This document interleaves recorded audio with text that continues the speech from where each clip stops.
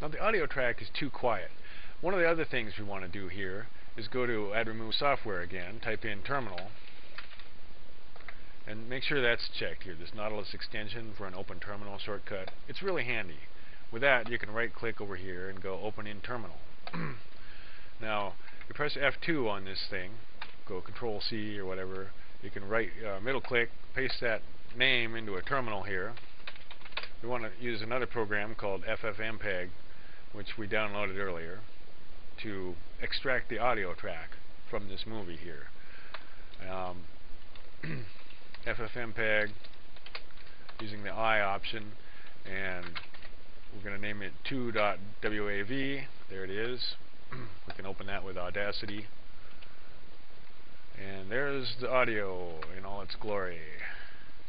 Now you just press home hold down the shift key press the right arrow a couple times oh well you could use the mouse to do this but you know that's no fun and press delete. what we've done is we deleted that first part. I don't know if you could see it, but there was a loud spike there at the beginning, and I wanted to get rid of that. You can just like highlight and delete whatever you don't like out of the audio.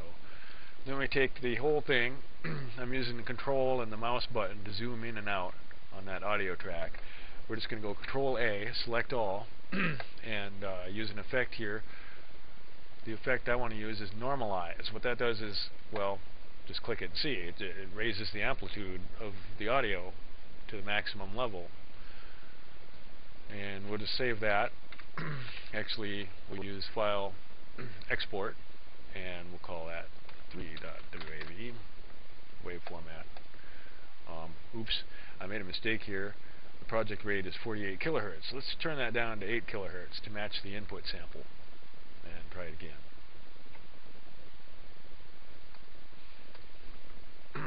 okay. This uh, wave file, this audio track is much louder than, than it used to be. And we can use Avidemux to um, copy that uh, audio track back in. Well, Main track and uh, go to external file, external wave over here, browse to it,